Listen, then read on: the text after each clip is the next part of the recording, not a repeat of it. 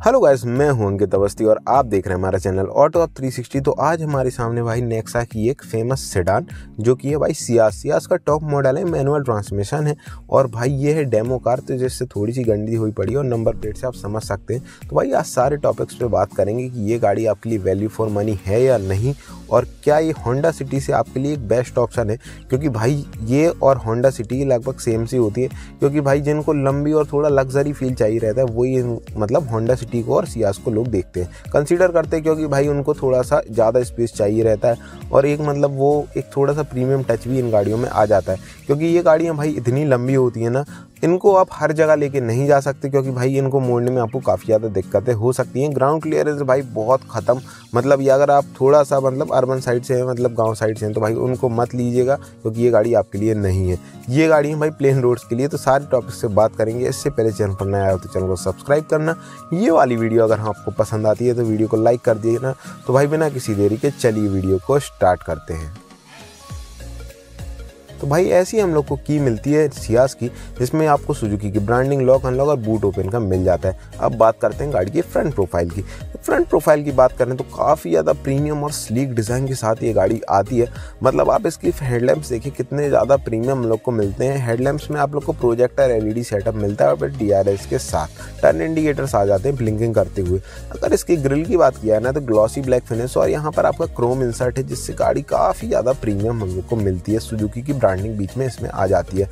अगर आप नीचे देखेंगे तो हम लोग इसमें फॉग भी आ जाते हैं क्रोम का इंसर्ट इसमें भी है, हमारा नीचे भी। जिससे भाई इस गाड़ी की जो लाइट्स है ना काफ़ी अच्छी विजिबिलिटी होती है नेक्सा की कार्स की। आपको अगर आप होंडा सिटी भी लेंगे, उसमें भी आपको एल लाइट्स मिलती हैं, लेकिन उसमें आप लोग को भाई चार पाँच लाइट मिलती हैं ब्लॉक्स के साथ में। वन सेवेंटी एम का ग्राउंड क्लियरेंस मिलता है, जो कि भाई ख़त्म है ग्राउंड क्लियरेंस इन गाड़ियों का। मतलब आप अगर इसको लेके जाते हैं ना रोड्स पर तो भाई आपको अगर हाईवे पर थोड़ा ऊँचा नीचा है तो आपको उतारने में भाई सिंगल रोड में तो काफ़ी ज़्यादा दिक्कतें होंगी सिटी हो या फिर ये।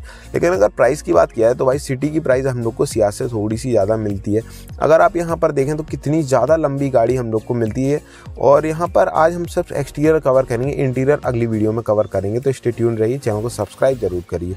यहाँ पर आप देखें तो एरोडाइनमिक्स काफ़ी सही हम लोग को इस गाड़ी के मिलते हैं। सियाज की जो प्राइस है वो तेरह लाख के लगभग पड़ जाती है। यहाँ पर आप इसके देख सकते हैं अलवाय काफ़ी ज़्यादा अच्छे अलवाए मिलते हैं। सोलह इंच के टायर हम लोग को मिलते हैं। ये one ninety five fifty five R की हम लोग को यहाँ पर मिल जाती है टायर सेक्शन ओ की बात किया है तो बॉडी कलर में मिलते हैं, साथ में मिलते हैं आप लोग को इसमें टर्न इंडिकेटर्स गाड़ी काफ़ी ज़्यादा लंबी है जिससे आप यहाँ पर देख सकते हैं। मतलब कैमरा इतना ज़्यादा जस्टिस ना कर रहा हो, लेकिन सच में भाई गाड़ी आप सामने से देखेंगे, जिनने देखी होगी तो वो बता देंगे कि भाई गाड़ी काफ़ी ज़्यादा लंबी है।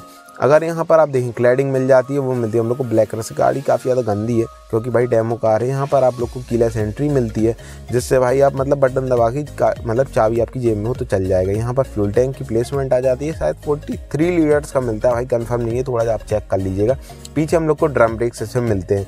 और अगर इंजन की बात किया है तो फोर्टीन नाइन सिक्सटी टू का मिल सी का मिलता है, जो कि सियास से आप मतलब आपका होंडा सिटी से भाई आप लोग का पचास सी कम मिलता है इंजन होंडा सिटी में आप लोग को ही पंद्रह सौ सी का मिलता है।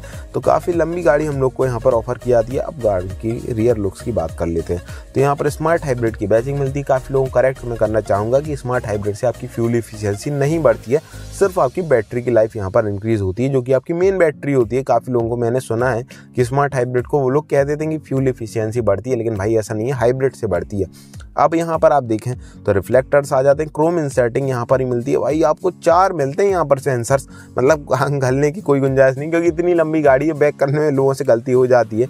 रिवर्स पार्किंग कैमरा मिल जाता है। सियास की बैचिंग अलग फॉन्ट है भाई। मतलब इस फॉन्ट में काफ़ी ज़्यादा लगता है कि भाई कोई लग्जरी कार लिखी मतलब ब्रांडिंग है। यहाँ पर सुजुकी की बैचिंग आ जाती है स्मार्ट हाइब्रिड की बैचिंग आती है। यहाँ पर हम लोग को डिफॉगर मिल जाता है, लेकिन आप लोग को इसमें रियर वाइपर नहीं मिलता है। यहाँ पर आप देखेंगे तो हम लोग को सार्फिन एंटीना नहीं मिलता है। और आप नंबर प्लेट से समझ गए होंगे, डेमो कार है, यहाँ पर नीचे चैम्बर वगैरह, एग्जॉस्ट पाइप वगैरह सब कुछ हम लोग को नीचे मिलता है। पूरी नीचे से कवर नहीं है, आगे से कवर रहता है सिर्फ़ इंजन। इंजन गार्ड हम लोग को सिर्फ़ इसमें मिलता है। आप गाड़ी का बूट स्पेस देखते हैं कैसा मिलता है। तो यहाँ पर आप देखें तो भाई बूट स्पेस काफ़ी हम लोग को बड़ा मिलता है। होंडा सिटी से, होंडा सिटी में भाई हम लोग को कम मिलता है। पाँच mm का हम लोग को मिलता है। यहाँ पर आपका स्पेयर व्हील आ जाता है। साथ में आपके वही रेंच पानी सब कुछ यहाँ पर हम लोग को मिल जाता है। तो इसको कर देते हैं बंद। इतना बड़ा बूट स्पेस है ना, आप देखेंगे और जब गाड़ी के अंदर आपको कल मतलब अगले दिन जब भी वीडियो अपलोड करूँगा मैं तो अब देखिए इतना ज़्यादा स्पेस है ना भाई इस गाड़ी में। तो बस यही था वीडियो के वीडियो देखने के लिए धन्यवाद।